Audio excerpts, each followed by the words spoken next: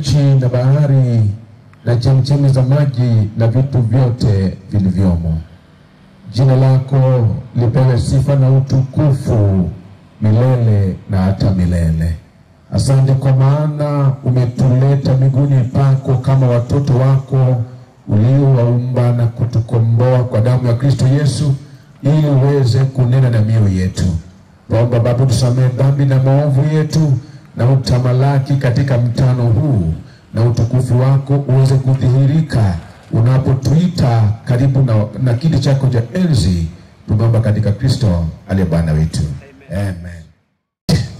Sasa tunaingia mahubiri. Biblia yako uwe nayo tayari, na kila mmoja ajisikie miguni pake Yesu siku ya leo. Ukiwa wewe ni mgeni, ukiwa wewe ni mwenyeji, sisi zote ni watoto wa Mungu, ujihisi miguuni pake Yesu. Haleluya, asante mwalimu. Ah, kitabu fungua kitabu ninapotoa maelezo haya, kitabu cha Ufunuo kumi na tatu fungu lake ni la nane. Naomba utege masikio. Duniani kuna vitabu vya rekodi, na kitabu mojawapo katika dunia hii ambayo nimeweka rekodi inaitwa The Guinness Book of Records. Watu ambao wamevunja rekodi za mambo za ulimwengu huu, watu ambao wametenda mambo ambayo yanaweza kukumbukwa katika ulimwengu huu, majina yao na matendo yao yamenakiliwa in the Guinness Book of Records. Kenya yetu katika wale ambao wamechaguliwa katika bunge pia wako na kitabu AMSAT. Na Pengine kwa kitabu hicho tangu bunge ya Kenya ianze, wabunge wetu mama ambao wamefanya katika bunge yote yamenakiliwa in the book. Kuna vitabu vingi katika ulimwengu huu, kuna vitabu vingi katika hata nchi yetu ya Kenya, hata ndani ya kanisa letu kuna kitabu inaitwa Church Register na majina ya washiriki wale ambao wamebatizwa ama wameamisha majina wakaleta ama wamepokelewa kwa imani, majina yao yameandikwa katika church kama church book register, majina yetu yako pale. Lakini mpendwa, nataka nikuletee habari mchana wa leo ya kwamba yawezekana jina lako lipatikane in the Guinness Book of Records. Umevunja rekodi, umefanya mambo makubwa katika ulimwengu huu, unakumbukwa katika ulimwengu huu. Waweza kuwa hata katika eh, eh, parliament yetu ya Kenya umekuwa mbunge, umefanya mambo na jina lako liko pale na matendo ambayo umeyatenda. Inawezekana mpendwa, hata ndani ya kanisa hili jina lako limeandikwa kwenye church register, wewe ndiye namba one katika church register ya kanisa letu. But nataka nikwambie hiyo peke yake haitoshi. Ufunuo kumi na tatu fungu lake la nane nasema hivi, Ufunuo kumi na tatu fungu lake ni la nane. inasema Wahi ya Mwenyezi Mungu inasema, mm, na watu wote wakao juu ya nchi watamsujudu mm, kila ambaye jina lake alikuandikwa katika kitabu cha uzima cha mwana kondoo aliyechinjwa tangu kuwekwa misingi ya dunia. tumejifunza mambo mengi kuhusu mnyama na ibada yake, hata mpaka jioni ya jana kwa unabii, na sirudii mambo hayo mchana wa leo. Neno la Mungu inasema hivi, wakati unakuja na ni hivi karibuni, na watu wote wakaao juu ya nchi watalazimishwa kuabudu mnyama lakini wale ambao hawatamwabudu mnyama, Mungu anamwambia Yohana na anaandika ni wale ambao majina yao yameandikwa mbinguni kwenye kitabu cha uzima cha mwana kondoo. Oh, watakao ambao hawatamsujudu mnyama. Sio wale ambao majina yako kwenye the Guinness Book of Records. Hapo matendo yao yapatikana katika Ansad ya Parliament. Ama majina yako kwenye register ya kanisa. Kwa maana mpendwa Biblia haijasema ya kwamba wale ambao hawatamsujudu mnyama ni Waadventista ambao majina yako kwenye register. Wanaweza kuwa ndani ya hili kanisa, huyo mzee wa kanisa, uwe hata pasta, mchungaji kama sisi, uweze kuwa mwimbaji hodari, uweze kuwa ukitoa zaka na sadaka kikamilifu, uweze kuwa umesaidia kwa ujenzi wa kanisa, umechangia kazi ya Mungu, lakini mpendwa, kama jina lako your name will miss in the book of life kama jina lako litakosekana kwenye kitabu cha uzima. Cha mwana kondoo mpendwa kazi hiyo yote ni ya bure. Bwana yesu asifiwe. Ina maana mchana wa leo swali tajiulizwa is my name written in the book of life. Je jina lako limeandikwa kwenye kitabu cha uzima? Cha mwana kondoo ufunuo ishirini fungu lake la kumi na mbili na kumi na tatu inasema hivi Ufunuo ishirini fungu lake ni la kumi na mbili linasema inasema nikawaona wafu mm, wakubwa kwa wadogo mm, wamesimama mbele ya hicho kiti cha enzi. Mm, na vitabu vikafunguliwa Mm. na kitabu kingine kikafunguliwa mm. ambacho ni cha uzima na hao wafu wakahukumiwa katika mambo hayo yaliyoandikwa katika vile vitabu. Sawasawa sawa na matendo yao Yohana anaonyeshwa baada ya miaka elfu moja kumalizika, watakatifu tumekaa mbinguni kwa miaka elfu moja ufufuo wa pili unapofanyika, Yohana anaonyeshwa wafu wote waliokufa bila kumwamini Yesu watafufuliwa kwenye ufufuo wa pili. Yohana akaonyeshwa baada ya kufufuliwa kutakuwa na hukumu, na hukumu hii uta, utafanywa kulingana na matendo, mambo ambayo yameandikwa kwenye vitabu vilivyo mbinguni. Kumbe mbinguni kuna vitabu ili hukumu ya Mungu iweze kuwa ya haki, lazima kuwe na vitabu vyenye rekodi. Ndio maana kwa miaka elfu moja tukiwa juu mbinguni, tukiwa juu mbinguni, tutakuwa tunaangalia kwa nini Mungu akahubiri na hajafika mbinguni. Kwa nini fulani alikuwa mwimbaji na hajaonekana mbinguni? Kwa nini yule aliyekuwa mlevi tulikuwa tunamchekelea amefika mbinguni? Vitabu vitafunguliwa. Wapendwa, juu mbinguni kuna vitabu, na kitabu mojawapo ni kitabu gani? Kitabu cha uzima, fungu la kumi na tano kumi na tano linasema inasema hivi Ufunuo ishirini fungu lake ni la kumi na tano. Takatifu ya watakatifu inasema hivi mwalimu naiseme Ah, na iwapo mtu yeyote hmm, hakuonekana ameandikwa katika kitabu cha uzima hmm, alitupwa alitupwa katika lile ziwa la moto. Oh, na iwapo mtu yeyote and if anyone was not found written, na iwapo mtu yeyote hakupatikana ameandikwa kwenye kitabu hicho cha uzima, haijalishi alikuwa Ted Wilson president wa General Conference, haijalishi alikuwa Pastor Ruguri wa division, haijalishi alikuwa Pastor Makoni wa union, haijalishi alikuwa Pastor Nagaska wa district, haijalishi pasta tu anayesoma Mugunda, haijalishi ni mzee wa kanisa, haijalishi ni mtu aina gani. Nimesema hivi, iwapo mtu yote jina lake alikupatikana kwenye kitabu hicho cha uzima, Mungu hatakuwa na lingine, atatupwa kwenye ziwa hilo la moto wakao. Wapendwa, kama kuna ombi ambalo tutapaswa kuomba, mwalimu, kitabu cha Luka kumi fungu la ishirini hata fungu la kumi na nane E, kitabu ni cha Luka kumi Eh, fungu lake ni la kumi na nane unasema wahi ya Mwenyezi Mungu inasema Mm. ndipo wale sabini Eh. walipomjia Yesu kwa furaha Mm. wakisema Mm. Bwana, Bwana hata mapepo wanatutii Mm. kwa jina lako. Yesu akajibu akawaambia, Mm. nalimwona shetani akianguka kutoka mbinguni kama umeme.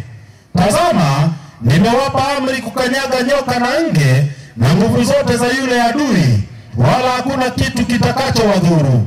Lakini msifurahi kwa vile pepo wanavyowatii, bali furahini kwa sababu majina yenu yameandikwa mbinguni. Yesu akatuma wanafunzi wake, walipoenda wakafanya kazi, wakaona ushindi katika kazi, kwa maana walipoyakemea mapepo kwa jina la Yesu, mapepo yakawatii, wakawa na ujasiri, wakawa na furaha, wanakuja kwa shangwe kwa Yesu, wanaambia Yesu, Bwana, unajua hata mapepo yanatutii kwa jina lako.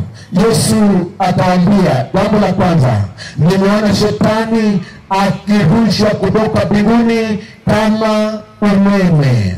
Akamalizia na kusema hivi, msifurahi ya kwamba mapepo yanawatii. Wapendwa, unaweza kufurahi ndani ya hili kanisa ya kwamba unapohubiri watu wengi wanaokoka, unapoomba Mungu husikia, mnapoimba ulimwengu unatishika, mnapofanya kazi ya Mungu ulimwengu unashangaa. Yesu akasema hiyo peke yake haitoshi, kwa maana hiyo peke yake haimtishi shetani. Yesu akasema kile ambacho ni tishio kwa shetani ni kama jina lako na jina langu limeandikwa mbinguni kwenye kitabu cha uzima. Bwana Yesu asifiwe. Watu wa Mungu, Bwana Yesu asifiwe. Mm, kwa maana wale ambao watakaoenda juu mbinguni, wale ambao watakaoimba wimbo wa Musa na mwana kondoo, wale ambao watakaokuwa kati ya kundi la waliokombolewa ni wale ambao majina yao yameandikwa mbinguni kwenye kitabu cha uzima cha mwana kondoo. Haleluya! Tarumbeta ya Bwana itakapolia mara milele itakapopambazuka, nao haki watakapokusanyika ng'ambo, majina yaitwapo liweko, majina majina yaitwapo majina yaitwapo majina yaitwapo lo majina yaitwapo niweko Siku hiyo Yesu atakapokuja mara ya pili, kitabu ambacho hatusomi Wathesalonike wa kwanza nne kumi na sita inasema kwa kuwa Bwana mwenyewe atashuka kutoka mbinguni na atashuka na mwaliko na atashuka na sauti ya malaika mkuu na atashuka na parapanda ya Mungu. Oh, mwaliko, sauti ya malaika mkuu na parapanda ya Mungu. Kwa nini kuna mwaliko na sauti ya malaika mkuu na parapanda ya Mungu? Kwa maana kuna wale ambao watakao alikwa. Kundi la kwanza waliokufa katika Kristo Yesu watafufuliwa kwanza. Bwana Yesu asifiwe. Pendwa, hili ni furaha tumaini. Kwa nini? Hata ukifa leo na umekufa ndani ya Kristo Yesu, juu mbinguni jina lako limeandikwa kwenye kitabu cha uzima. Parapanda ya Mungu itakapolia, sauti ya malaika mkuu itakapotokea, waliokufa ndani ya Kristo Yesu wataitwa kwa majina, wafufuliwe, watoke kwenye makaburi, nao walio hai watabadilishwa kufumba na kufumbua, in a twinkle of an eye watabadilishwa. Wanapobadilishwa ndipo waliokufa wamefufuliwa, mwili ya utukufu. Walio hai wamebadilishwa, wakavikwa mwili wa kutoharibika tena ndipo majina yao yanapoitwa, malaika wanatumwa kwenye pembe nne za ulimwengu wakiaita majina ya watakatifu. Ndipo pia nasema kwamba tutamlaki Yesu wapi? Hewani. Haleluya! Je, jina lako litaitwa siku hiyo?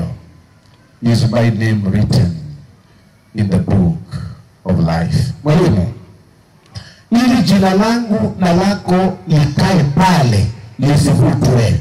Nini ambacho unastahili kufanya? Ufunuo tatu fungu lake la tano Ufunuo tatu fungu lake ni la tano. inasema Ah, Biblia takatifu inasema hivi, hmm, yeye ashindaye, ati yeye ashindaye mm. atavikwa hivyo mavazi meupe, mm. wala sitalifuta kamwe jina lake mm. katika kitabu cha uzima, mm. nami hey. nitalikiri jina- jina lake Mm. mbele za Baba yangu Mm. na mbele ya malaika zake. Yesu anaandikia kanisa la sita la Philadelphia, anasema na yeye, kanisa gani?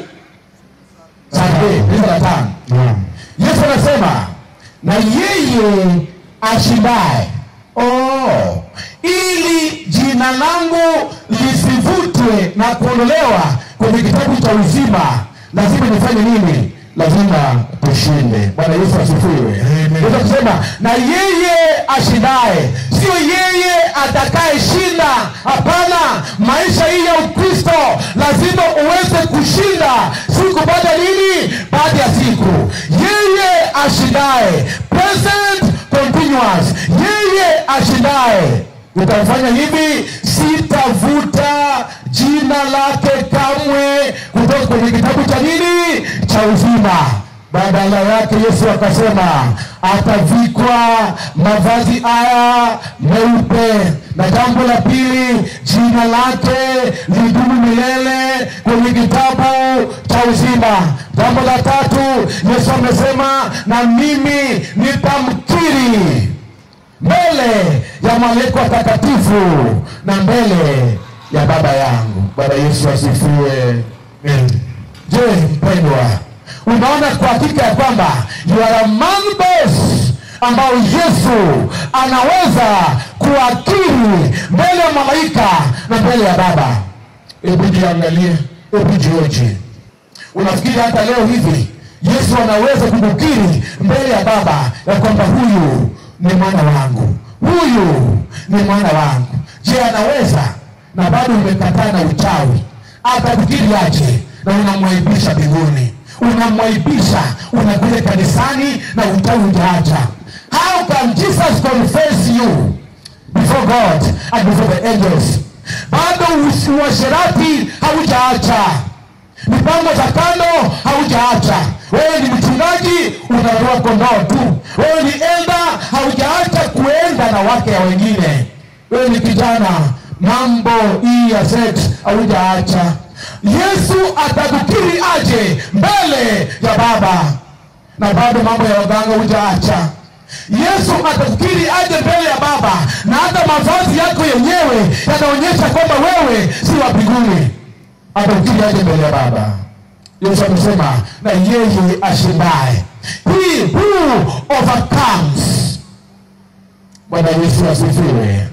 Penda, mimi naomba niweze kupata ushindi, niwe kati ya washindi. Mwalimu, mwanzo hii ni fungu la saba, unajua muda unatukimbiza, tukakaribu kumaliza.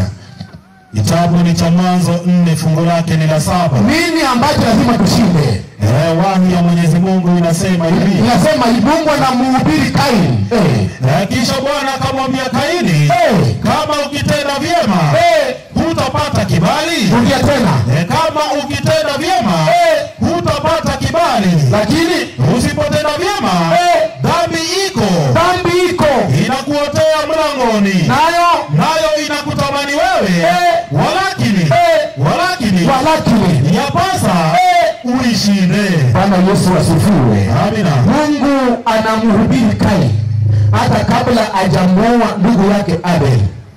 Kafara yake imekataliwa, amepatwa na hasira. Mungu anamwambia, je, ukitenda mema si utakubalika, lakini usipotenda mema dhambi iko nayo, dhambi hiyo inakuletea wapi? Mlangoni. Sin is crouching at your door and its desire is to rule over you. But God told Cain, but you must overcome. Praise God. Yesu amesema na yeye ashindaye, ashindaye nini? Ashindaye nini? Dhambi. Swali, utashindaje dhambi? Na nukuu tu usisome Ufunuo kumi na mbili fungu lake la kumi na moja inasema kwamba and they overcame him by the blood of the Lamb. Praise God. Wakamshinda kwa nini? Kwa damu ya Kristo Yesu. Oh, lazima tushinde dhambi kwa sababu tuko na ushindi katika damu ya nani? Damu ya Kristo Yesu. Damu hiyo inatupa ushindi dhidi ya adui nani? Shetani. Nitaje kwa haraka vitabu viwili ambavyo pia viko mbinguni. Kitabu cha kwanza ni kitabu cha uzima cha mwanakondoo, na yeyote ambaye anayeshinda dhambi jina lake litasalia pale milele bila kuvutwa. Kitabu cha pili, maneno Malaki tatu kumi na sita inasema hivi, Malaki tatu fungu lake ni la kumi na sita. inasema Biblia takatifu inasema ndipo mm. wale waliomcha Bwana mm. waliposemezana wao kwa wao, tena Bwana akasikiliza mm. akasikia, mm. na kitabu cha ukumbusho mm. kikaandikwa mbele zake hey. kwa ajili ya hao wanaomcha Bwana na na kulitafakari jina lake. inasema ndipo watu wa Mungu wakasemezana wao kwa wao. Waliposemezana, Mungu akasikia, na Mungu aliposikia akasema kitabu kingine kiandikwe mbele yake. Ni kitabu gani? Kitabu cha ukumbusho, the book of remembrance.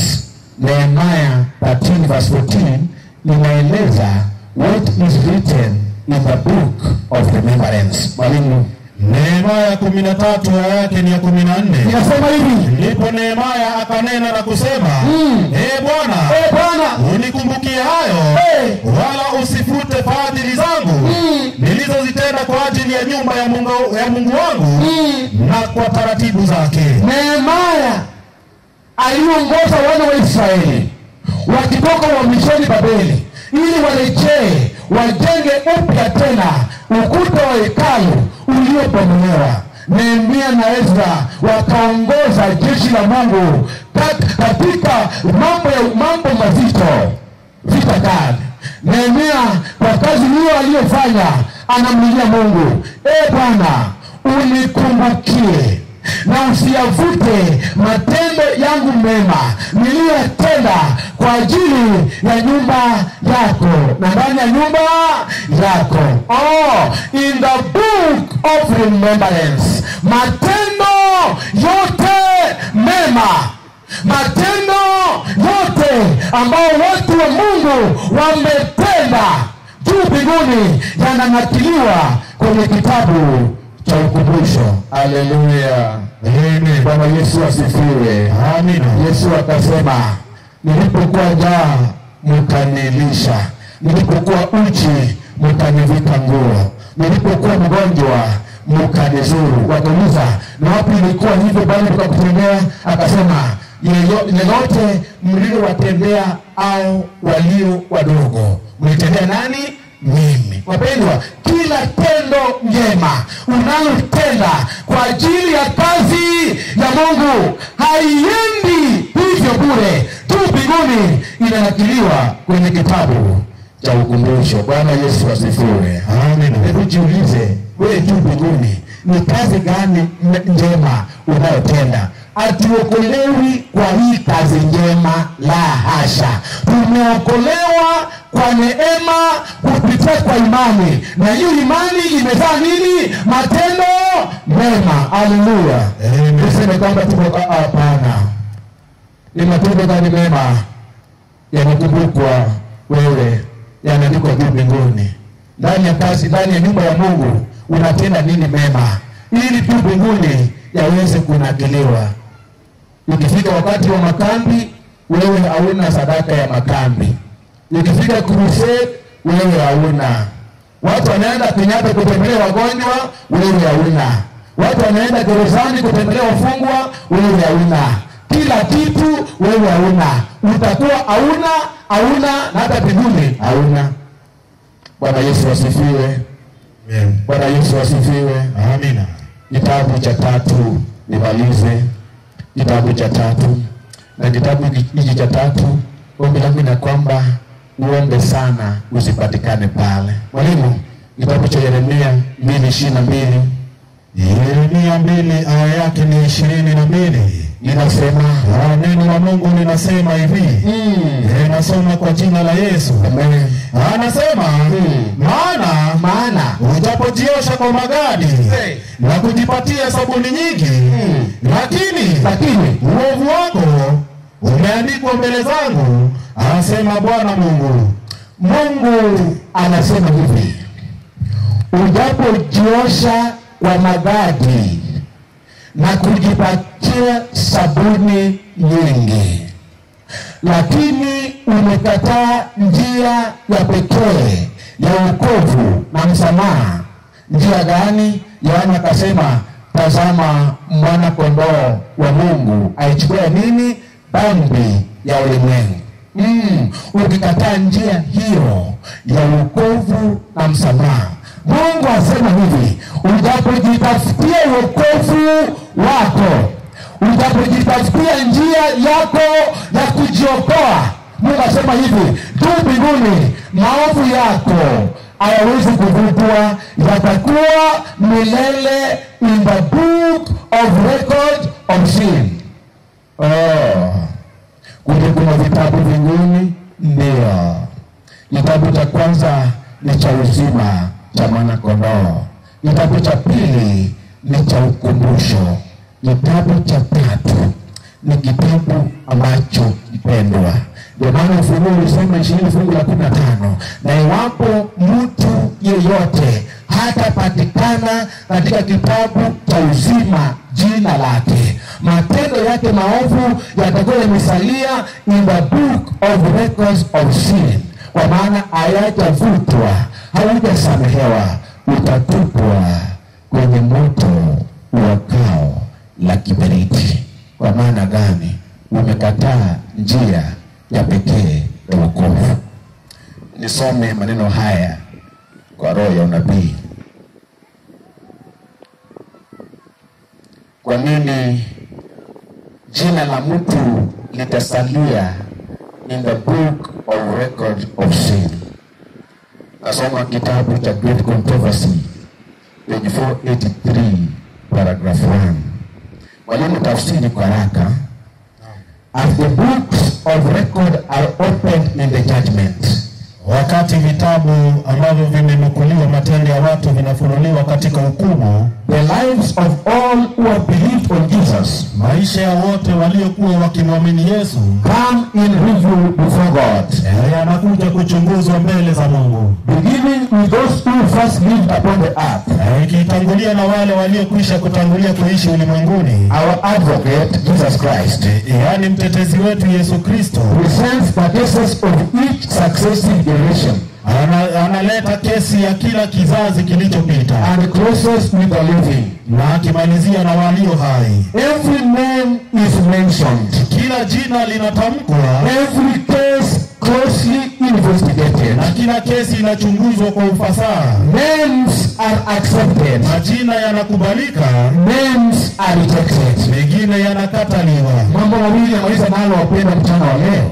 Names are rejected. Majina yanakubaliwa and names are accepted. na mengine yanakataliwa. Swali ni hili, kwa nini majina mengine yakataliwe yaingizwe kwenye kitabu cha uzima? Listen, ni kwa nini mwalimu nasema hivi? When any have sins Na iwapo mtu yeyote ataonekana na dhambi remaining upon the books of records. ambayo bado iko katika vitabu vya mbinguni, Narudia, when any have sins remaining na iwapo mtu yeyote itaonekana bado dhambi imebaki upon the books of records katika vile vitabu vya mbinguni, and repented of madhambi ambayo hayajatibiwa and unforgiven, haya ambayo hayakusamehewa, their names. majina ya hao blotted yatafutwa, out of the book of life, yatafutwa kitoka katika kitabu cha uzima, and the record of their good deeds na hata ma matendo yao mema will be erased yatafutwa from the book eh, kutoka katika vitabu of God's remembrance. katika kitabu cha Mungu cha ukumbusho. Wapendwa, sikizeni, majina yanakataliwa kwa nini? Kama kuna dhambi yoyote umekataa kuitubu, umekataa kuiungama, methali ikasema afichaye dhambi zake hatafanikiwa, lakini aziungamae dhambi zake atapata nini? Rehema. Hiyo andiko Methali ishirini na nane fungu la kumi na tatu. Kama kuna dhambi unayoficha, dhambi ya siri unatenda, hata muko wako wajui, una mpango wa kando na umeficha miaka yote haijulikani, tu mbinguni ni wazi na imenakiliwa. Amen. Unadunga na wasichana ya watu wanabatizwa, wewe unajiona wewe ni mtakatifu, wewe una dhambi na watu hawajui. Juu mbinguni imenakiliwa in the book of record of sin. Unaibaiba kazini, unaibaiba tu kazini. Mwalimu, ulikuwa na mwili aliandika Mwafrika moja Mkenya huyo akaweka kwa store yake. Alikuwa kwa store, alikuwa ana, ana, anasimamia. Naam. Kumbe pale kwa store mwingi alikuwa ameweka CCTV haionekani. Mwafrika ameungana na gatekeeper, anatorosha vitu, gatekeeper anaacha anaondoka, anaenda aulizi, anaona kana mambo yako sawa. Naam. Alifanya tu akaendelea, akaendelea, akaendelea, ikafika siku ya arobaini Mwindi siku hiyo alipokuja kazini akaja na umbwa. Unajua umbwa, umbwa wa mlindi, unajua umbwa mlindi? Naam. Alikuja na umbwa, akamwita nani, kuja kuja, akaja. Mwindi alikuja na mifupa, mifupa ambazo karibu zinaoza, mifupa. Mwindi alibeba pesa pia, akachukua pesa akaweka hapa, akachukua mifupa akaweka hapa, akauliza huyo jamaa, kati ya mifupa na pesa, hii umbwa nikimwambia chague atachagua nini? Akasema nini? Mifupa. Mungu akamwambia wewe ni zaidi ya umbwa hii, nimekuajiri na kulipa mshahara, nimekusaidia mpaka na familia na bado unaniibia. Wewe ni mjinga kuliko huyu umbwa. Hatari sana. Kuna watu ambao wanafanya mambo haya hapa kazini, they are the most corrupt people kazini, Wakristo kanisani. Pero atufanye kwa siri, juu mbinguni hakuna dhambi ya siri, na dhambi yoyote ambayo unaotenda na uta walikuwa watu ambao walikuja kanisa siku baada ya siku. Ah, ah, ni watu ambao neno la Mungu liliwatuma, neno la Mungu liliwagusa, neno la Mungu likawakereketa, neno la Mungu likawasukuma wakafanya uamuzi, wakatubu na kuungama dhambi zao juu mbinguni. Kristo mbele ya Baba akawawakilisha, akawaombea dhambi zao, wakasamehewa, matendo yao maovu yakavutwa, na majina yao yakasalia kwenye kitabu cha uzima cha mwana kondoo. Bwana Yesu asifiwe. Amen. Hakuna kufika mbinguni bila msamaha. Kijana mmoja katika taifa la Marekani alikuwa kijana mzuri, kijana aliyekuwa Mkristo mzuri. Katika ujana aliongoza kundi la ujana, akawa kijana ambaye alikuwa kijana mzuri, na kanisa ilikuwa na msifu kwa maana alikuwa kijana wa pekee. Kijana akaenda sekondari akamaliza huko, sijui inaitwaje, baadaye akajiunga na chuo kikuu. Alipojiunga na chuo kikuu, kijana akawa na marafiki, kumbe hakujua marafiki ambao alikuwa na wao hawakuwa watu wazuri. Siku moja wakavamiwa na maadui ya hao vijana marafiki wenzake. Yeye hana habari, yeye hajui. Vita ikatokea. Kijana huyu alikuwa kijana ambaye alikuwa amejenga vizuri mwili, maana alikuwa anainua hata chuma, akona na misuli, amejenga mwili vizuri. Kijana, vita ilipotokea, alikuwa na nguvu, akawazidi nguvu hawa, na kwa bahati mbaya akapiga moja na akamuua. Kesi kanza akashikwa akapelekwa korokoroni. Siku ya judgment akahukumiwa kifo, maana ameua. Kijana akiwa gerezani anatumikia miaka yake, anangojea aweze kuuawa baadaye, ama kae ge- ge- gerezani. Alikuwa amehukumiwa kufa ama kunyongwa ama kuuawa wakati hapo hapo gerezani, watu wa kanisani, watu wa kijiji waliomjua kijana wakasema, hapana, huyu kijana tunamjua tangu utotoni, tumemwelewa, tumemjua. Watu hawa wakaandika petition, wakaenda kwa gavana wa jimbo hilo, wakasema kijana huyu tangu kuzaliwa kwake amekuwa Mkristo, amekuwa kijana mzuri, tunajua hii kuzudia kuua, ilikuwa ni ajali wakaandika. Gavana alipoangalia ushahidi na petition ya hawa, akaangalia akasema, yawezekana huyu kijana amefungwa kimakosa. Lakini unajua in Amerika, sijafika Amerika, lakini kile ambacho nasikia wa huko wako na uwezo. Kwa hivyo gavana akawa na uwezo, aidha anaweza kufanya kijana afanye nini, aachiliwe. Siku moja gavana akatoka kwa ofisi yake. Gavana alipotoka ofisi yake alikuwa amevaa nguo, maana alikuwa Mkristo, akavaa kanzo, anaenda kwa jela kwa kijana.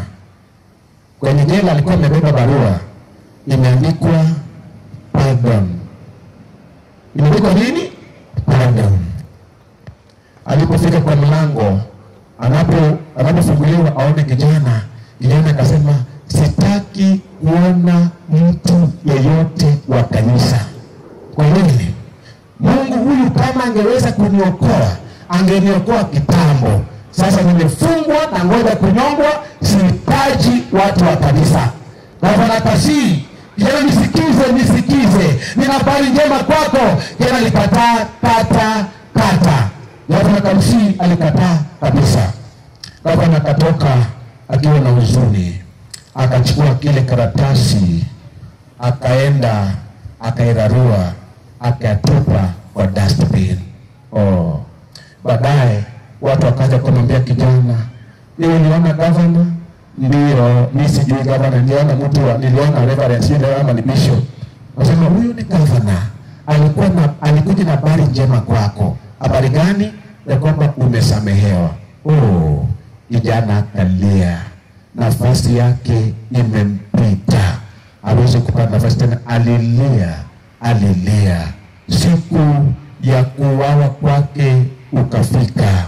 Dakika zinapokaribia, anangojea uwawa, kijana akaandika, akaandika karatasi, akaandika hivi, ninajua ninakufa si kwa sababu niliua, maana kama ningalijua nilikuwa nimesamehewa.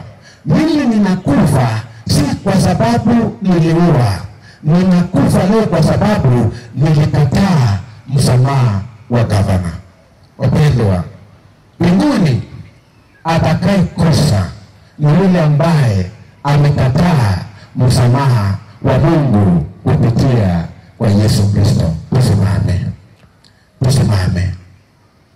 Atakaye kosa mbinguni, Biblia na yeyote ambaye jina lake alipopatikana limeandikwa kwenye kitabu cha uzima cha mwana kondoo, yaani yule ambaye alikuwa mwenye dhambi mkuu, lakini ataungama na kutupu dhambi zake na kusamehewa, huyo atatupwa kwenye ziwa la moto la kiberiti wakao. Mbona ufe kifo cha milele, kifo ambacho Kristo alikwisha onja kwa ajili yako? Wapendwa, washerati wanaenda mbinguni. Nimesema nini mchungaji? Nasema washerati wanaenda wapi? Mbinguni. Lakini na washerati gani? Wale ambao wametubu na kuungama nini? Dhambi zao. Waizi wanaenda mbinguni. Wauaji kama Saulo watakuwa wapi? Mbinguni. Wale ambao wametubu na kuungama nini? Dhambi zao. Nina mwito wa kwanza mchana wa leo. Mimi ni mwenye dhambi mkuu ninayehubiri hapa. I am the chief of sinners. Nahitaji neema ya Mungu na msamaha wa dhambi. Mimi ni wa kwanza najitoa kwa Yesu. Nimepana hivi, kama kuna mtu wa pili ambaye anapojiangalia anajiona yeye ni mwenye dhambi mkuu kama mimi, anayehitaji msamaha wa Mungu kupitia kwa Yesu Kristo, just make a step, njoo mbele, njoo mbele anayejizuisa kwamba ni mwenye dhambi mkuu, asema damu yake yatosha, utaoshwa, utasafishwa, uwe nyeupe kama nini? Kama theluji. Njoo kwa Yesu. Yesu anaitana. Mimi nikiwa kwanza kwenye dhambi mkuu, nakuja kwa Yesu. Nahitaji msamaha, kwa maana mbingu ni yangu, kwa maana mbingu imeandaliwa kwa ajili yangu. Sikosi bingu sikosi kwenda mbinguni, sikosi kwenda mbinguni. Mbona ukose kwenda mbinguni? Kwa sababu tu ya kukataa kutubu na kumpatia Yesu dhambi zako. Kama njoo tuombe, njoo, njoo, njoo, mnakuja, njoo. Nafasi ni kubwa hapo nyuma ya spika, msimame hapo. Nani mwingine tena asema yeye ni mwenye dhambi mkuu, anahitaji msamaha? Njoo, njoo. Yesu angali katika katika mbinguni kwa ajili ya kazi yako na kazi yangu, anatuombea, anatupatanisha na Baba. Ndio kazi Baba anatufanyia. Anasema come let us reason together. Oh, Isaya mwalikuna, kuna njooni tusemezane, anasema Bwana, dhambi zako zijapokuwa nyekundu kama damu, oh, zitaoshwa iwe nyeupe kama theluji. Asanteni sana kwa wale ambao mmekuja wenye dhambi kama mimi. Mbingu inaona, Mungu ameona, Mungu anakujua, Mungu amesikia. Bwana Yesu asifiwe. Na kama kuna ombi ambalo alimpiti Mungu, alimchukui Mungu hata sekunde moja kujibu. Juu ya msalaba, mwizi alipoomba Bwana unikumbuke wapi katika ufalme wako, haikumchukua Yesu hata sekunde, hapo hapo akatangaza, leo hivi nakwambia utakuwa wapi? Pamoja nami paradiso. Ombi la msamaha haimchukui Mungu hata sekunde, papo hapo ukiomba kwa unyenyekevu wa moyo, papo hapo Mungu anasema case dismissed. Praise God. Amen. Umesamehewa. Wito wa pili kwa wote ambao ni wenye dhambi wakuu kama mimi, Yesu anasema amin, amin nakwambia, mtu asipozaliwa mara ya pili. Nikodemo akashangaa, kwa tumbo mamangu tena? Ah, ah, Yesu akasema ili kuzaliwa kwa maji na kwa Roho. Haleluya! ambaye atakataa kuzaliwa kwa maji kwa ubatizo, hiyo pia hauwezi kufika mbinguni. Ninatoa wito wa pili, wale ambao mchana wa leo wanajitoa kuzaliwa kwa maji mengi kwa ubatizo masaa ya mchana. Kama uko hapa, nione kwa ishara mkono. Wanaojitoa kubatizwa mchana wa leo walikuwa hapa nasi, wamejitoa kwa usiku ambao zimepita, wamejitoa mpaka jana. Kama uko hapa, nione kwa ishara mkono. Wanaojitoa kubatizwa mchana wa leo, nikasema naomba mje mbele, njooni, njooni. Wanaojitoa kubatizwa mchana wa leo Yesu akasema na huyo ambaye anaye anayeshinda, Yesu akasema nitamkiri wapi? Mbele ya malaika na mbele ya Baba. Mpendwa, kama Yesu amesema kwamba atatukiri mbele ya Baba na mbele ya malaika, mbona wewe unaogopa kumkiri Yesu mbele ya umati, kumkiri Yesu mbele ya umati.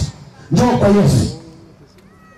Hili kuna ambao ulikuwa umejitoa, lakini hivi leo wapendwa, pengine ulitoka nyumbani, haukujua kuna ubatizo, haukujiandaa kwa ajili ya ubatizo, lakini umesikia ujumbe huu na umeguzwa, umekuja, mbele ya Yesu usamehewe, na unaona kwamba unastahili kubatizwa mchana wa leo. Kama uko hapa, jiunge na kundi hili, come, njoo. Najua hukujiandaa lakini unajisikia kwamba unastahili kubatizwa mchana wa leo. Mbona why postpone your opportunity? Rudi nafasi yako. Njoo. Njoo sister come come. Najua haukujiandaa.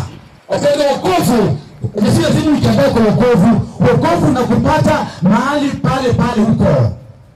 Kama uko hapo unajitoa kubatizwa mchana huu make a step jiunge na hili God bless you. God bless you. God bless you kuna wale ambao wamesikia ujumbe huu kwa majuma mawili. Hata si tisa wamekuwa wakisikia wakiwa mbali wengine wakiwa hapa barabarani. Na mchana wa leo umejiunga nasi hapa mpendwa na unajisikia kwamba unafaa kujiunga na la Mungu kwa kubatizwa ndani ya maji mengi. Kama uko hapa just make a step. Come to Jesus. Njoo kwa Yesu. Nani anayejitoa? Just come. Nani mwingine ni kwa mara ya kwanza umesikia ujumbe huu kwa majuma haya mawili. Na mchana wa leo unasema mimi sigairishi tena nafasi yangu. Mimi naja kwa yesu. Mimi naenda kwa yesu. Kama uko hapa njoo. Njoo njoo. Wito mwingine. Umekuwa mwadventista mtu wa kanisa hii lakini hivi leo unapojiangalia mpendwa umerudi nyuma. Sabato mungu umevunja mara nyingi. Unaenda kazi na sabato na watu wajui lakini mungu anajua unakuja unakosa kuja. Ama umefanya mambo ambayo mungu ndiye anayejua na shetani na wewe. Unasema kwamba mimi nataka nianze na yesu tena kwa kuzaliwa ndani ya maji mengi. Njoo kwa yesu. Njoo ubatizwe njoo. Wanaotaka kuwa rebaptized njoo. Ni nani anayejitoa kubatizwa? Hata ni mara ya pili mara ya tatu. Njoo. Usimwendee yesu haya amesema atakayenionea haya mbele ya watu mimi pia nitamwonea haya mbele ya baba na mbele ya malaika. Yesu hakukuonea haya alikubali kutundikwa akiwa uchi juu ya msalaba. Alistahimili aibu yoyote kwa sababu yako. Mbona mwonee yesu haya come to jesus njoo kwa yesu. Ni nani anayebaki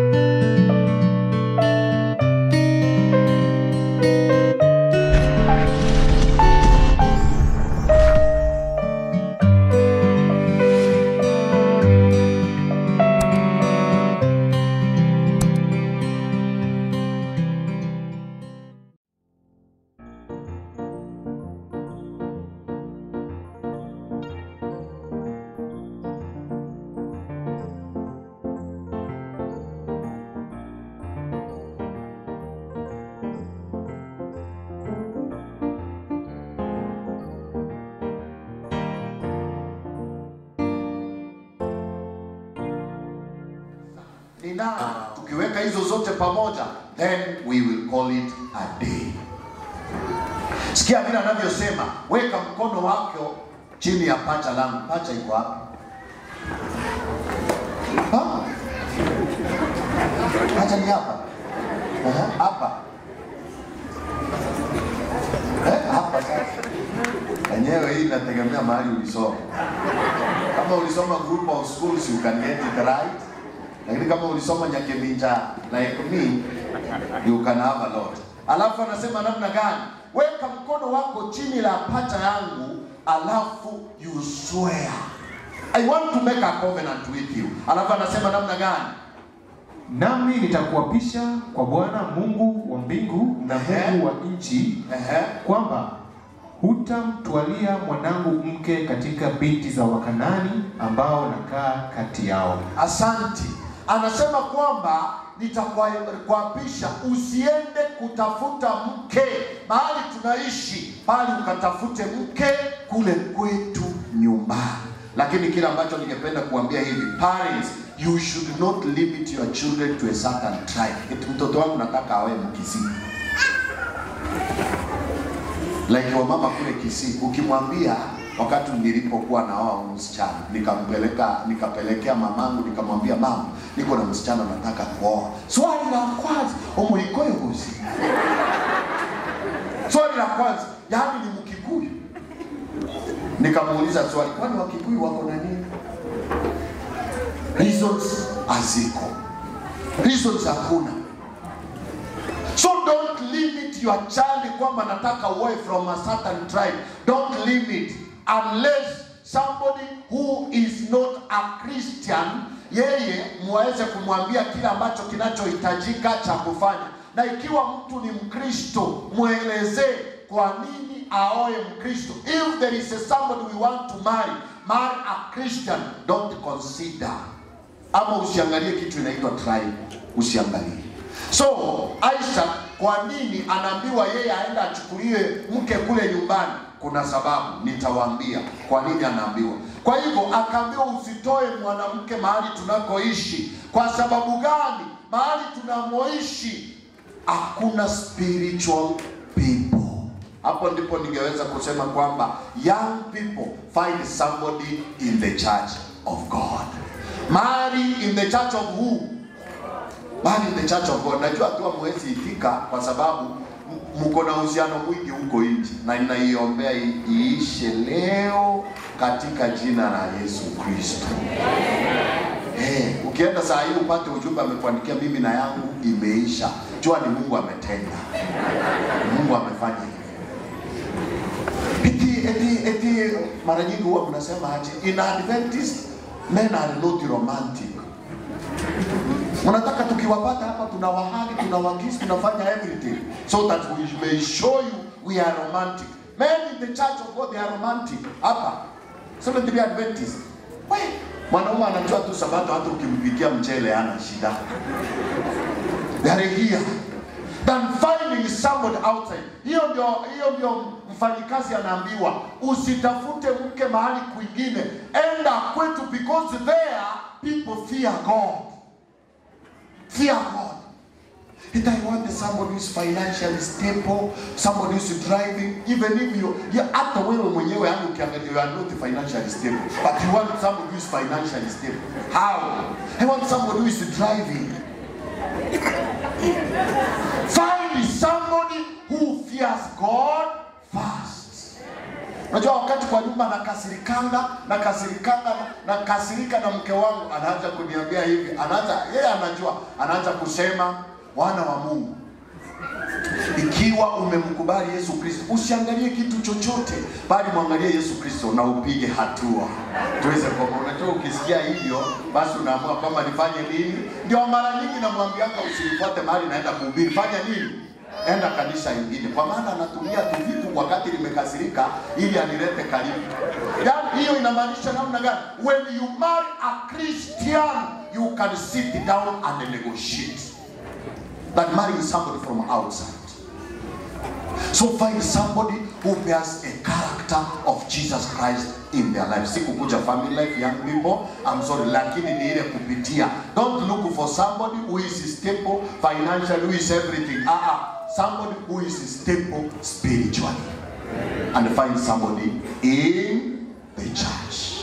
Unajua hata kama atakuacha, atakwambia hivi, mpenzi wangu, naomba tukutane. Wapi? Uhuru Park. Mnakaa. Alafu anasema tuombe.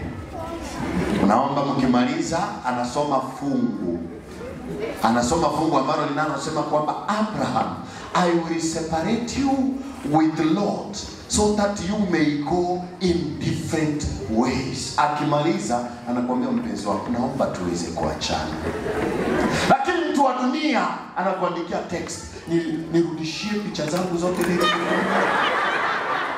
mimi nawe yangu imefanya nini? But you see the goodness of marrying a Christian.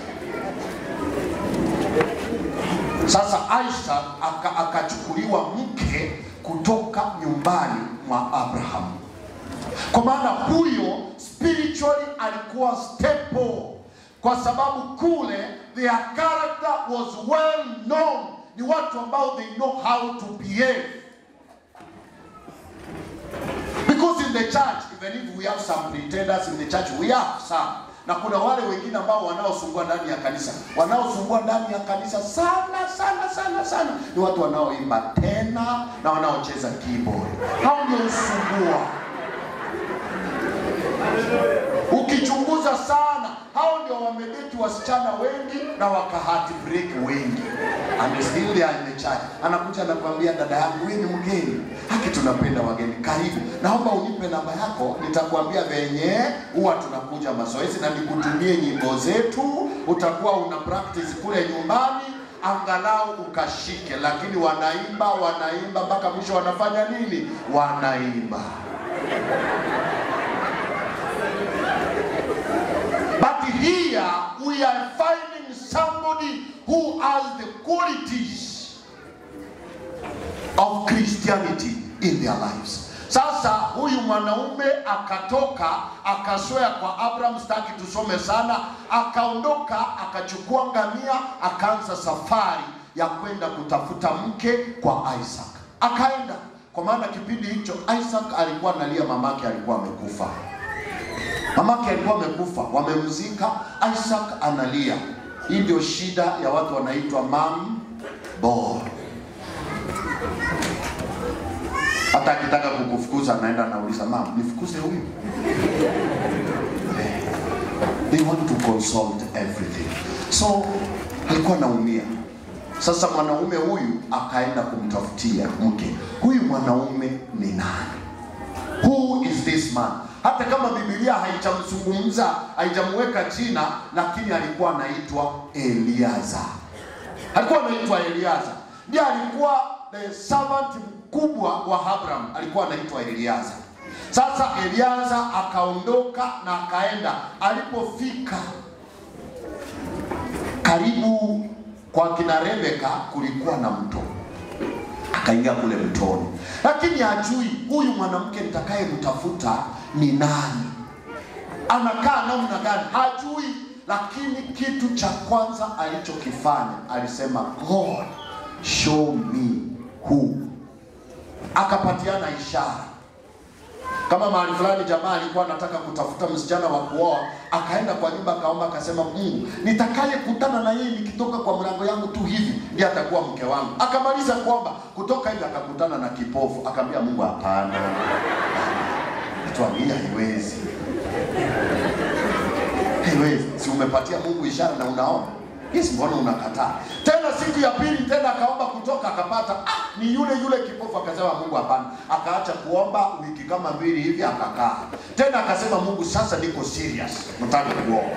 Akaomba tena kutoka, akakutana ni yule yule kipofu, wakaamua kuoana. Kumbe huyu msichana ni shida ilikuwa tatizo kwenye macho yake, lakini aliweza kusaidiwa na akaona na wakaendelea katika hali ya ndoa. Kwa hivyo sometimes when you give ishara, ishara do. Ndio maana tunaambianga ladies, mkienda mahali hivi, kama ni harusi, kama ni sherehe ya vijana, ah, karibisha mwanaume, mwambie karibu kiti na mchukulie chakula. Huwezi jua kama hiyo ndio ishara alipeana. So wakati jamaa amefika kule mtoni, akasema the one ambaye atakaye ninywesha maji na anyweshe ngamia hizi maji, huyo ndiye atakayekuwa. Kidogo tu akaona msichana, Biblia inamdescribe. Wacha ni wacha niangalie hapa. Before I had finished praying in my heart, verse 45, I saw Rebecca coming out with her water jug on her shoulder. She went down to the spring and new water. So I said to her, please give me a drink. Yani Biblia wakati napo describe Rebecca, she was beautiful na alikuwa amekomaa. Na hapo ndipo natoa uh, jambo fulani kwamba ndoa ni ya watu ambao wamefanya nini? wamekoma si ya watu ambao wanaofanya mchezo, ni ya watu ambao wamekoma So Rebecca anapokuja, she was very beautiful without makeups. She was very beautiful. Wacha hizi makeups wengine wanapaka, Yaani hata ukimwangalia unashindwa akwa anakwanga sura gani, pale blue ama anakwanga namna gani? Amechora macho hapa, hata akifunika hivi unashindwa tena anakuona. Yani amechora na pencil hapa, akifunga macho hivi unafikiria tena kuna macho hapo. Ah, ah, Rebecca was not of that type. Naturally, she was beautiful. No wonder siku hizi wanaume wameendea kienyeji, wameacha na broilers. They are going for kienyeji where? Ushago. Yaani mtu ambaye unayemleta Nairobi, asubuhi ukitoka unamwachia 50 bob, jioni ukikuja unapata change ya 30 bob. So the kind of people we are looking for.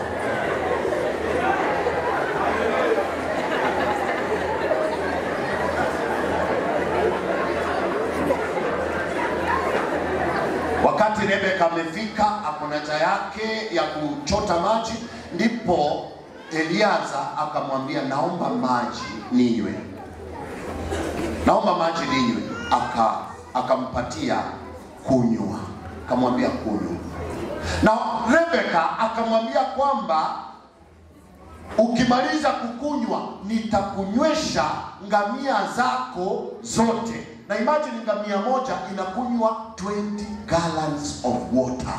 Na zilikuwa ngamia ngapi? 10 of them. Zilikunywa gallons ngapi? 200 huyo msichana si alifanya kazi? Si hata hiyo yenyewe ilikuwa inatosha kwamba huyu ametosha kuwa mwanamke. Hey, wife material huyu mtu hata ukileta kwa nyumba kupika chapati atakupikia chapati iko round. Wakati unapoikula hata kama utakula tatu utakula moja na utashiba. Kuna mwingine atatengeneza inakaa hivyo, but she does huyo ndiye utakayemleta kwa nyumba akipika chakula. Kama ni chapati anaikata into pieces anatengeneza maua anaileta kwa mesa. Lakini wale ambao watu wanapika na inaileta kama hoteli.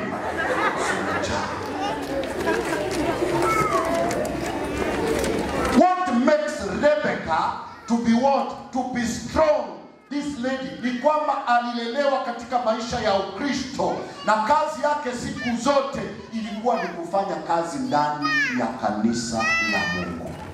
Devote your time to work in the church of god. There comes your reward. Mungu atakuona. Usione kwamba umechelewa. Marriage is not an emergency. Unataka kutorokea ah, ah, just wait. God's time is the best. Na itakuja kwa wakati wake iti nitafika menopause. Who told you menopause inakuwapo ni sababu ya chakula tunakula ambayo ndio zinafanya hizo vitu zina happen. But when you are at jesus christ god will fulfill his promise unto your life. Now eliaza wameangalia akaona rebeka yuko sawa. Akasema ndiye huyu. Anaongea tu ndiye huyu alafu akauliza rebeka kuna room kule nyumbani tunaweza enda kukaa? Rebeka akamwambia ndio ipo.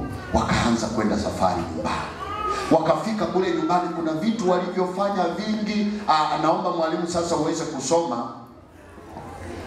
Fase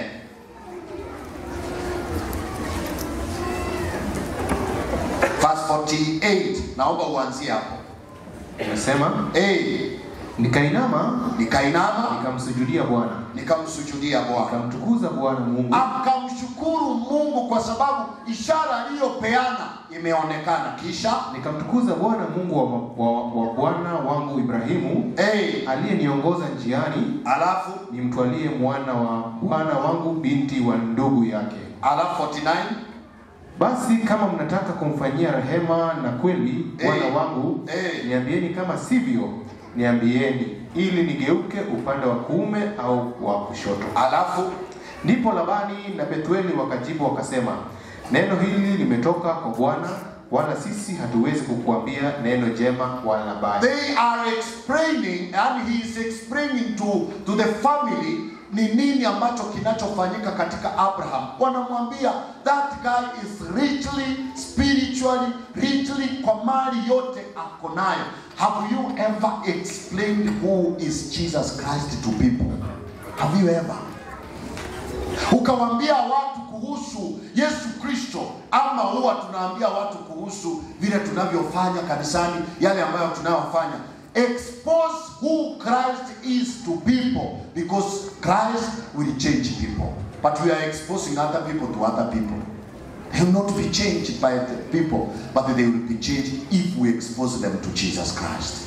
Sikia vile anavyosema verse 52. Mwalimu soma kwa haraka. Ikawa mtumishi wa Ibrahimu aliposikia maneno yao, hey. akainama hata nchi, nchi mbele za Bwana. alafu Kisha huyo mtumishi akatoa vyombo Eh. vya fedha Ehe. na vyombo vya dhahabu wakati Rebeka amekubali na watu wa nyumbani wamekubali, akatoa vyombo alivyoleta na akawapa kuwashukuru. Ni wao walisema tunataka ng'ombe kumi eh?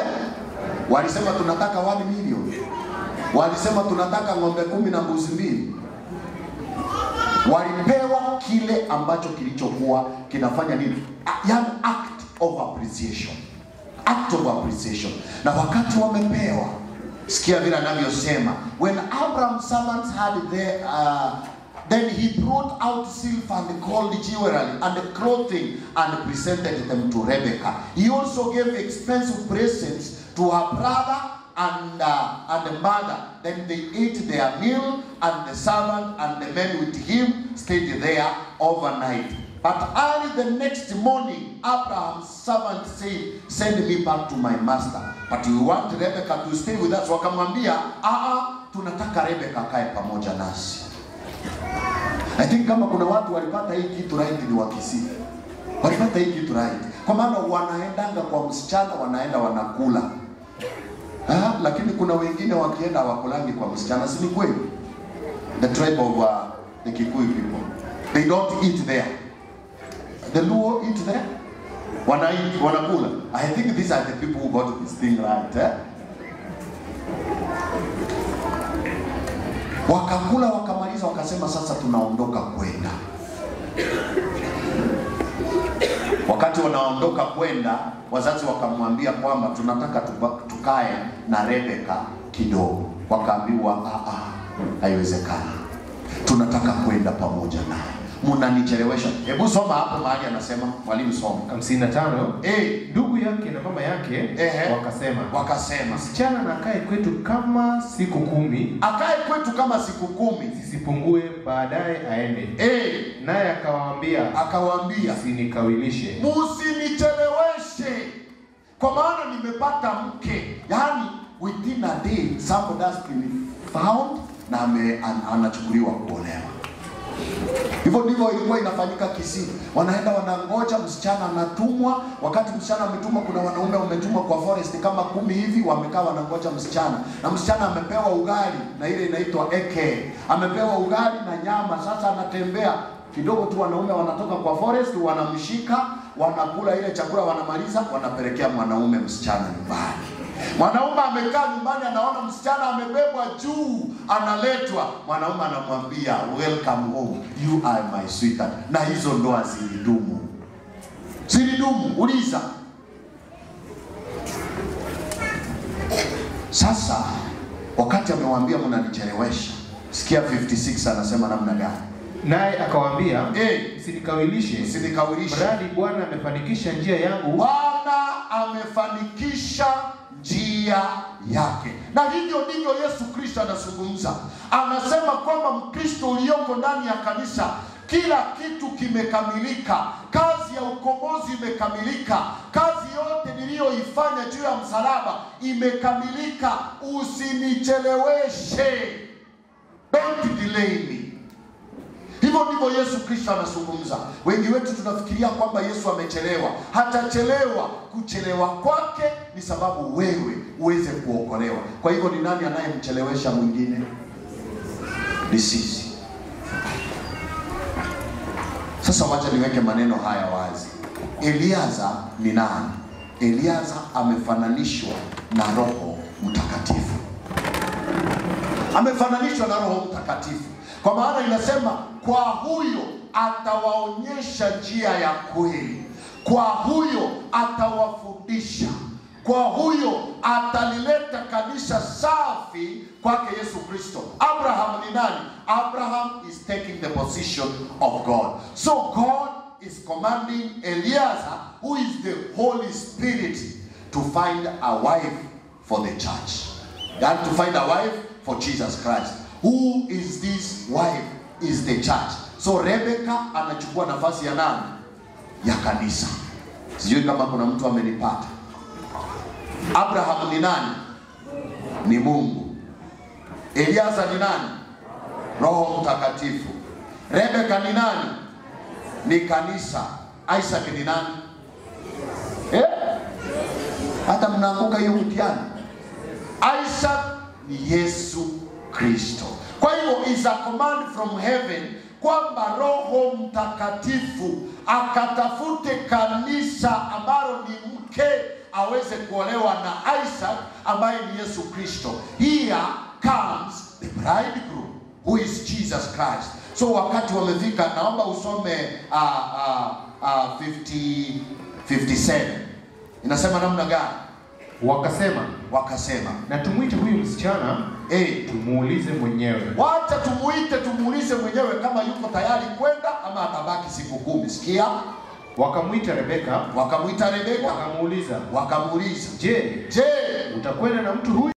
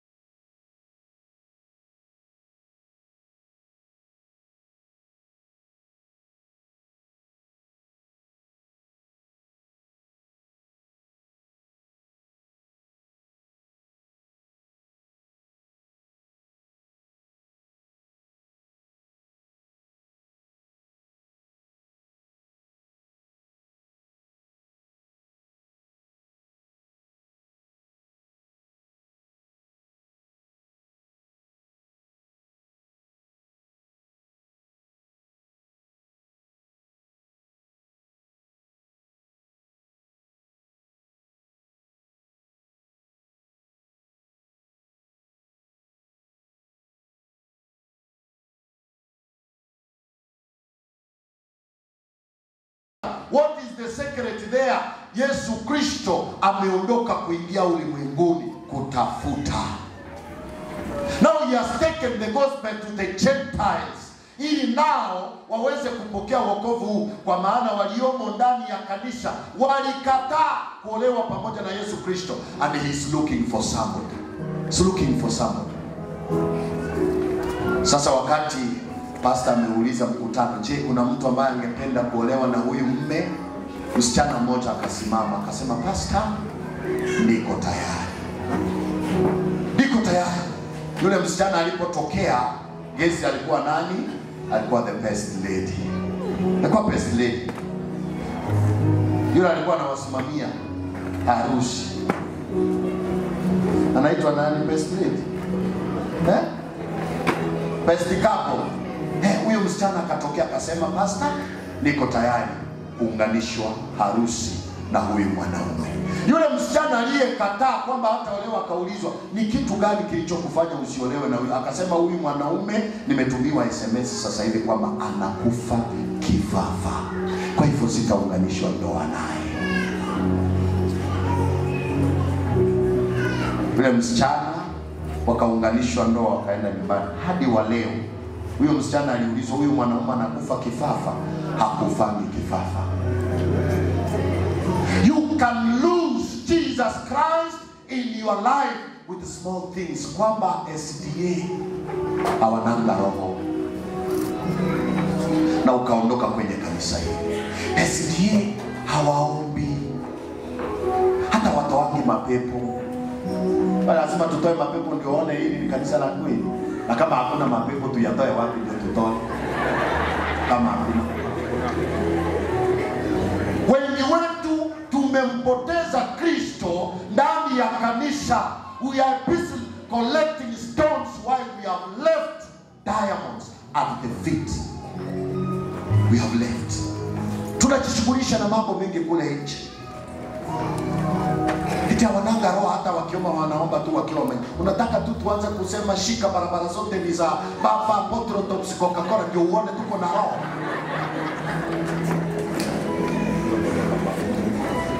Kazi ya Rebeka hakukataa. Yeye alisema kama ni Yesu Kristo naelewa safari ya ukombozi naelewa what he did on the cross.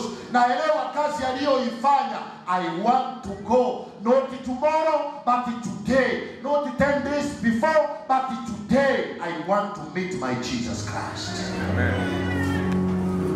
Asemi kwanza wacha nifanye mambo yangu ya Kalimanzira halafu nitakuja. Asemi kwanza wacha nifanye masengenyo. I will come. Ah, ah, anasema when I meet Jesus Christ at that point I accept him as my personal savior and I give my life to Jesus Christ. Ndiyo Paulo alipokutana na Yesu Kristo akasema, si mimi ninayeishi because I've surrendered myself to Jesus Christ, ni Yesu anayeishi ndani yangu na anatawala maisha yangu vile yule mwanamke alipokataa, hivyo ndivyo kanisa lilipomkataa Yesu Kristo. Yesu akaondoka kutafuta sasa ana individual person atakayekubali kwenda pamoja na Yesu Kristo. Lakini ole wetu ndani ya hili kanisa Yesu analolitafuta, ndani ya hawa watu Yesu anatafuta, ndani mna watu ambao ni waasherati ajabu. Do you know uasherati siku hizi inatajwa mpaka kwetu sisi pastors. Uasherati hata imejaa ndani ya kanisa. Si eti lazima iwe ni uasherati wa mwanamke na mwanaume. Siku hizi kuna wanaume na wanaume. Mtu amekauka kama wewe, kama kijiji ya stima, mnapendana mwanaume na mwanaume, hata atakupepea mimba kweli mwanamke na mwanamke ndani ya kanisa la. Nilishangaa sana makambi niliyoenda, msichana akakuja akaniuliza, Pastor, I have a friend na ninaomba utuombee, ni rafiki yangu na tunapanga kuoana. Do you know alileta nani? Alileta msichana. Nikamwambia, my sister, are you serious?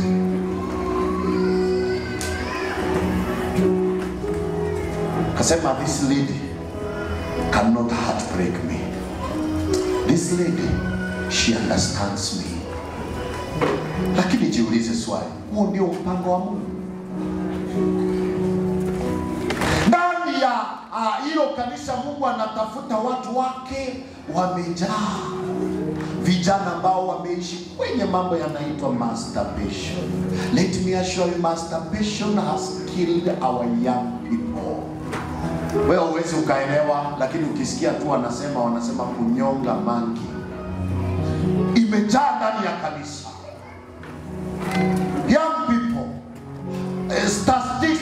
Inasema kwamba where there is five men, three of them are doing one, two, three, four, five, three of them are doing. simaanishi ni hao. Yani I'm just doing an example. Where there is five of them three of them are doing what? Are doing. I was interviewing some young men. Wakasema pastor wazazi wangu kila wakati wakiniona na msichana wanaanza kuniuliza kwa nini niko na wasichana. Wakaniambia kwamba tusiwahi kuona na wasichana kabisa. Akaamua kutembea na wanaume akafurahishe wazazi kwamba atembeangi na wasichana. Anatembea na wanaume lakini anatembea na wanaume akiwa anafanya what we call homosexuality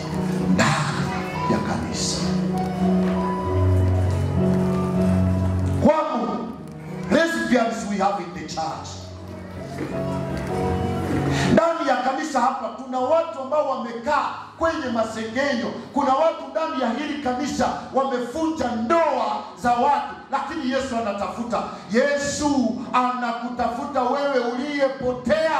Shiriki imepotea ndani ya kanisa. Anafagia kwa ujume wake mzuri anafagia kwa nyimbo zake nzuri anafagia kupitia kwa wachungaji. Shilingi itakayopatikana yesu atairudisha nyumbani. Bwana ni wa rehema kabla yesu atoke kutafuta kule nje angalau akutafute upatikane. Kinachonifurahisha god is not condemning you of what you are doing but christ is accepting who you are and he says come let us reason together. That's what christ is speaking. Ndani ya hili kanisa kumejaa watu wa namna nyingi lakini hapo yesu kristo ndiye anatafuta. Ni nani huyu atakayempokea huyu yesu kristo. Here comes the bride. We must be prepared to meet the bride. Groom we must be prepared.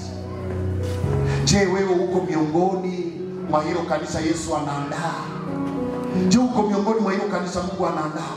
Mlango uko wazi ili uweze kujiandaa. Wakati shida imekuwa kule mbinguni mwanadamu ameanguka katika dhambi mbingu inakaa katika kikao wanashindwa what can we do to man? Tulifanya kila kitu cho mwalimu naomba ufungue katika kitabu cha jeremiah chapter number 2 verse 21 and 22 sikia vile anavyosema. Jeremiah mwalimu soma kwa haraka. Kitabu cha Jeremiah 22 Ah, ah, chapter 2 verse 22 inasema hivi. Hey, sikia vile anavyosema. Na ninaomba ujiulize hili swali. Maana ujapojiosha jiosha verse 20 for verse 21 verse 21 hey, nami nalikuwa sikia vile anavyosema. Nalikuwa nimekupanda mzabibu mwema mzabibu mwema sana. Mbegu nzuri kabisa. Mbegu nzuri sana. Umegeukaje? Ndugu zangu msichana uliyekuwa mzuri umegeukaje mwanaume aliyekuwa mzuri umegeukaje? Wazazi waliokuwa wazuri ndani ya kanisa wamegeukaje? Our good pastors wamegeuka namna gani? Hilo ndilo swali mungu anauliza. Akitafuta ni nani atakayekubali kurudi nyumbani? Here comes the bridegroom who is ready to go with jesus christ. Ni nani aliye tayari? Mtoto mdogo katika familia aliyozaliwa akawa anapitia mazito kwa sababu wazazi wake waliaga. Akapitia machungu kwenye maisha yake lakini kuna ndugu ya baba yake aliyekuwa anamtamani anasema yule ndugu ya baba yangu ananichunga sana. Akaenda kule akiwa amekaa kule tena shida ikaendelea kwa sababu ya, ya, ya, ya, yule mke aliyekuwa kule nyumbani. Huyu mtoto anajiuliza swali. I thought nimekuja mahali nitakuwa nasaidiwa. Sina wazazi Sasa akiwa pale yule ndugu ya baba yake akaondoka safari ya kwenda ng'ambo, akaenda na akakaa ng'ambo for about two years. Msichana huyo anapitia shida kule nyumbani, akituma pesa mtoto aende shule, mtoto apelekwe shule, akituma pesa mtoto anunuliwe nguo, anunuliwe nguo, zinanunuliwa huyu mwingine, huyu anavalishwa matambara. Mambo ikakuwa tofauti katika familia na akaanza kujiuliza swali, is this what I desired? Hivyo ndivyo wengi wetu ndani ya kanisa tunapowaokoa kutoka nje, anaingia ndani ya kanisa anajiuliza, I thought this is a safe place for me to, to, to, to, to live. anaanza ku, kuona masengenyo inaendelea kufanyika, anaona watu wanafanya uasherati, anaona vitu zinafanyika, anajiuliza what is this happening in the church? I thought this is a place. Sasa siku moja huyo mtoto akifagia chini ya kitanda akakutana na barua anko yake ameandika kwamba I'm coming home. Yule mtoto akafurahi akasema, Peter, when my hand comes home things will change.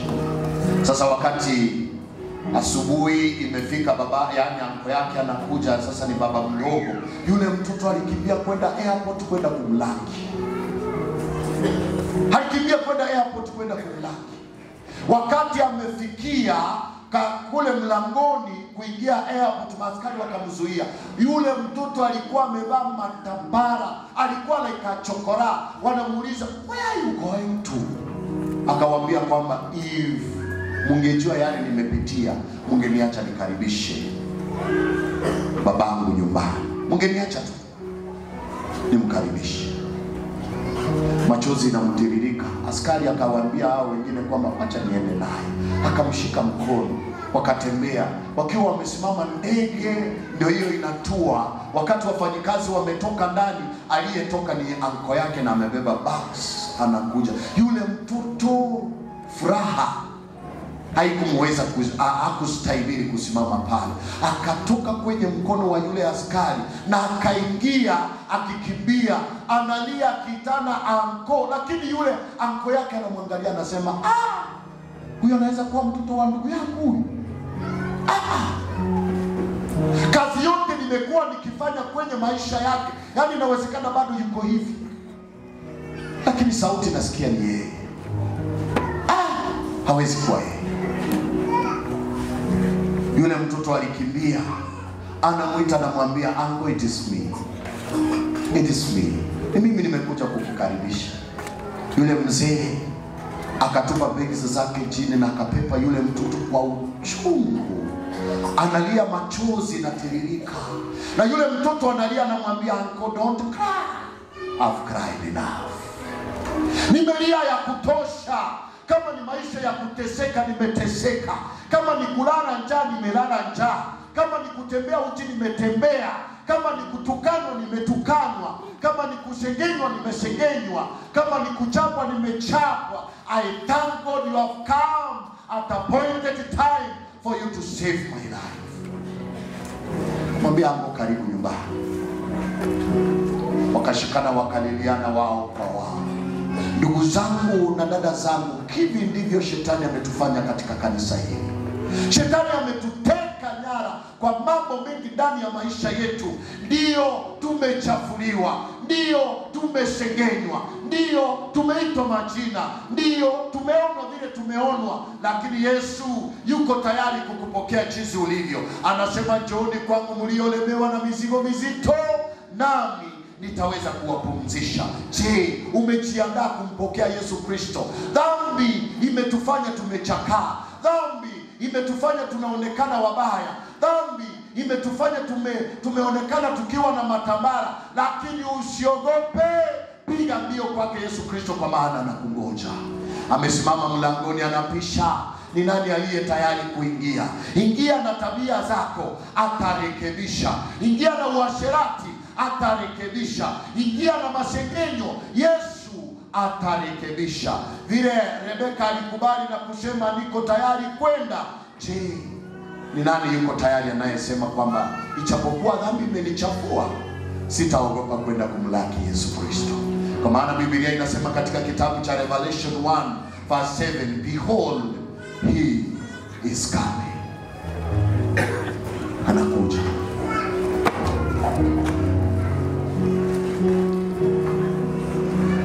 dada zangu, tumehubiriwa kwa muda mrefu, sabato hata sabato, makambi hata makambi, kurusida hata kurusida, lakini kweli you feel you are far from Jesus Christ. You want to get closer to Jesus Christ. Ndio mara nyingi naambia watu kwamba mbinguni wakisia hawataiona, mbinguni wajaluo hawataiona, mbinguni wakikuyu hawataiona. Atakayeona mbingu ni yule ambaye ako na close relationship with Jesus Christ. Hatutaona mbingu kwa sababu mimi ni msabato.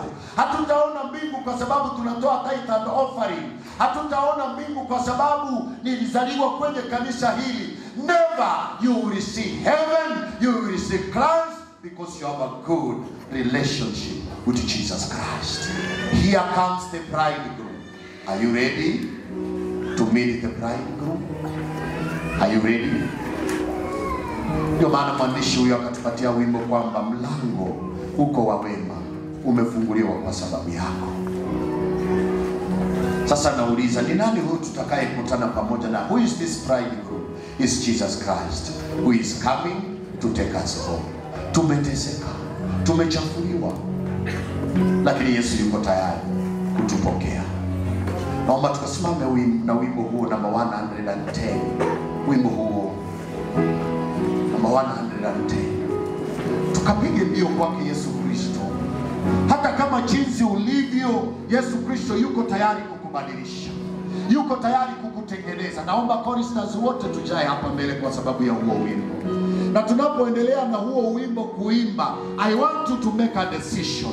Like Rebecca who is represented as the church, akapiga hatua akasema I want to go. Na wewe uko katika mkutano huu. Uko kwenye mkutano huu. Pianist, naomba utu uendelee kucheza huo wimbo. Uko kwenye mkutano huu, hujawahi pokea ubatizo, ama ulipokea ubatizo na ukarudi nyuma, and this is the right time to come to Jesus Christ. Kuwa Rebeka aliyesema kwamba mimi niko tayari kwenda, lakini ulimwengu unamwambia usiende kwa Yesu kwanza, ngojea sabato ijayo, ngojea makambi ngojea crusade, lakini Rebeka akasema sitangoja crusade, sitangoja makambi. Leo hii nimesikia ujumbe wa Yesu Kristo, I must go and meet my master. Kama uko hapa, njoo tu.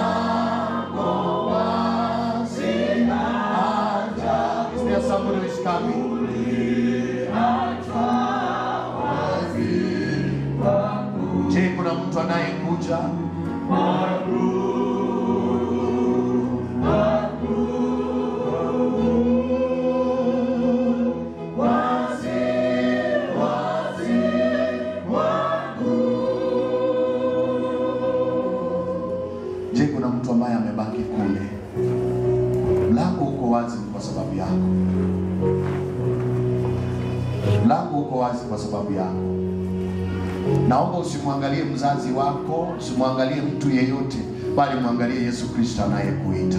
Here comes the bridegroom. You need to be ready to meet the bridegroom. Je, uko tayari? Kama uko kwa mkutano, ka njoo kwa haraka ili tuweze kukutana. Yesu akuita,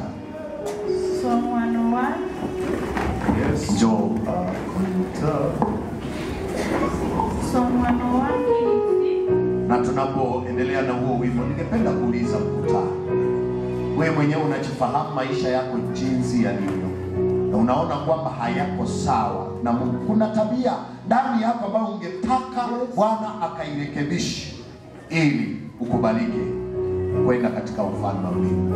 Kama uko kwa mkutano, unaomba tunyoshe mkono. Hata mimi vile nimesimama hapa, kuna kitu ambacho naona kwamba Yesu akija kitanizuia. Kila wakati namlilia Mungu, naomba nibadilishe, hata kama nahubiria watoto wako, nibadilishe nami niingie katika ufalme huo. Na inawezekana hata wewe nawe unaka kitu ambacho kanachokusumbua. Naomba unyoshe mkono as we pray. We pray over that thing so that God may get it out from your life to prepare you psychologically, to prepare you spiritually, to prepare you emotionally, to prepare you all round, to revive you and transform you for you to receive the latter rain. When He comes,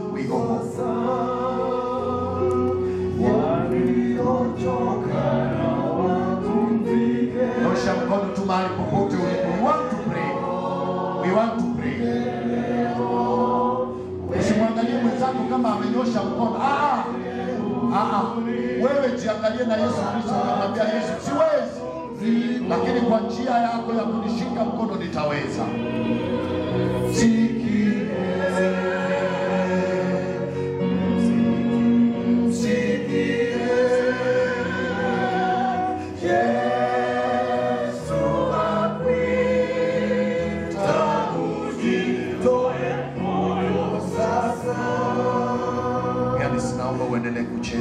sauti ya chini tunapoomba. Jina lako litukuzwe, Mbaji Mfalme. Mataa haya watoto wako wamepiga hatua kwa sababu wangependa kutoa maisha yao kwako Yesu Kristo, Waka- wakakupokee na wakapokea ubatizo wa kweli ndani ya maji mengi. Wamekuja ni wanyonge, wamekuja ni wenye dhambi, wamekuja hawaoni nuru ndani ya maisha yao, is total darkness in their lives. Lakini Yesu Kristo, naomba ukawapokee vile walivyo. Wanapotarajia ubatizo wa maji mengi, naomba ukawapatize katika Roho Mtakatifu. Bwana wetu, nasi wengine tumeinua mikono yetu, kwa maana kuna kitu ndani ya maisha yetu kimetuzuia tusikutane pamoja nawe Yesu Kristo. Naomba siku ya leo utuondolee, naomba siku ya leo utupokee, naomba siku ya leo utupatize katika Roho Mtakatifu, naomba siku ya leo Bwana Yesu ukatuishe na kututengeneza, ndipo tuweze kupokea Roho Mtakatifu. Naondoa chuki ndani yetu, ondoa kiburi ndani yetu. Bwana wetu, tushushe ili uweze kuinuliwa. Ondoa majivuno ndani ya maisha yetu, ondoa kujionyesha ndani ya maisha yetu, ondoa kujigamba ndani ya maisha yetu. Vijana wetu ambao wamepitia shida kwenye maisha haya, naomba Bwana wetu ukasimame pamoja nao, transform their lives. Miongoni mwetu kuna wale ambao ni wagonjwa, naomba wakapokea uponyaji katika jina la Yesu Kristo. Katikati yetu kuna wale wamekosa mtoto kwenye ndoa zao, Bwana wetu, naomba ukafungue tumbo zao enough is enough and give them a gift of the child Bwana, kuna wale vijana wanaotafuta wachumba, wanaotafuta kazi, wape katika jina la Yesu Kristo. Inawezekana ndani ya maisha yetu Bwana wetu kuna laana zinazotufuata. I stand against those curses and pronounce the blessings of Jesus Christ. Spiritual we need him. There is, uh, Rebeka alikubali kuolewa na Isaka. Leo hii tufundishe kukubali tuweze kuolewa pamoja nawe.